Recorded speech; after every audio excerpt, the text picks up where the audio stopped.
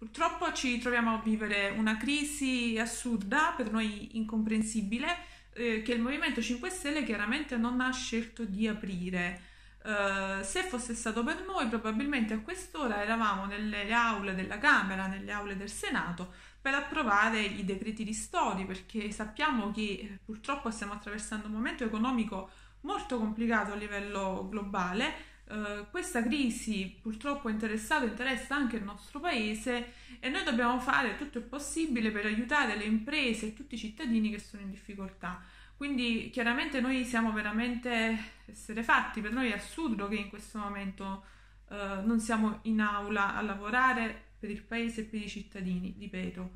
E in queste ore i nostri rappresentanti sono seduti ai tavoli, i nostri capigruppo e stanno portando avanti quelli che sono i temi programmatici del Movimento 5 Stelle e stiamo cercando di uh, stipulare un contratto di governo che ci accompagni fino alla fine della legislatura. Uh, noi stessi, anche io sono stata chiamata in causa domenica con la mia commissione per cercare di redare per la redazione di un documento da portare appunto a questi tavoli che in questi momenti si stanno svolgendo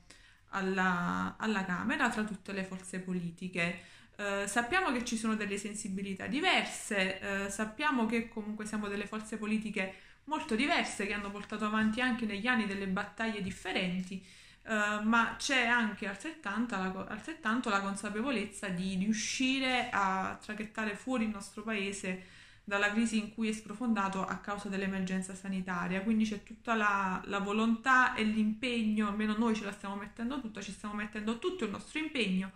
per portare avanti eh, il lavoro che i cittadini ci hanno assegnato e le responsabilità che ci hanno dato. Quando si tratta di lavorare, di parlare di temi, il Movimento 5 Stelle c'è, c'è sempre, questa crisi purtroppo, ripeto, non l'abbiamo voluta noi,